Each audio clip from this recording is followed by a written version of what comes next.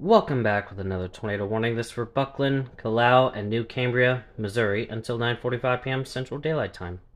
Ping pong size hail is also possible. 1,181 people and 5 schools affected by this. So, with that, just take shelter accordingly, stay safe out there, see you in the next video. Bye.